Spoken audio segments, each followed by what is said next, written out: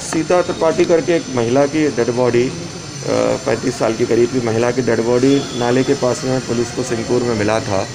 प्रथम दृष्टिया ये कोई आकस्मिक कोई घटना या एक्सीडेंट जैसे कोई घटना या कुछ ऐसा लग रहा था। पोस्टमार्टम रिपोर्ट में वो मर्डर निकले, उसमें थ्रॉटलिंग था, गले दबा के पानी भी थोड़ा पिए थे, क्योंकि पानी के स्रोत में के बगल में गला दबा के उसको मार दिया था। ये क्लियर जब हुए तो हमारे पूरे टीम उसमें लग गए क्राइम और साइबर के। तो पूरी एक बड़ी षड्यंत्र और चार आरोपियों का उसमें हिस्सा होना पता चला है। तीन आरोपियों को पुलिस ने गिरफ़्तार किया संतूर मलिया पचपन साल के, जो एक पूर्व सरपंच भी है। वो, उन्होंने उनका मर्डर किया।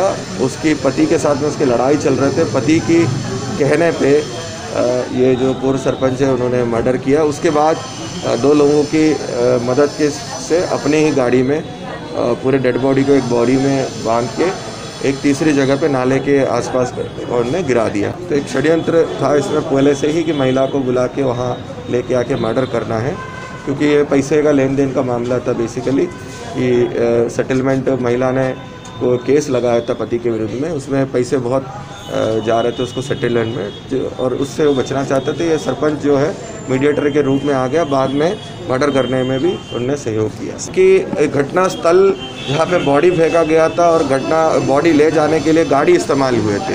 तो हमारे जाँच में ये पता चला, महिला की जो चूड़ियाँ थी, वो जहाँ बॉडी फेंके थे, वहाँ से भी मिले थे। और जो एक्चुअल जहाँ पे मर्डर हुआ जहाँ आरोपियों ने कबूला कि हाँ हमने मर्डर किया।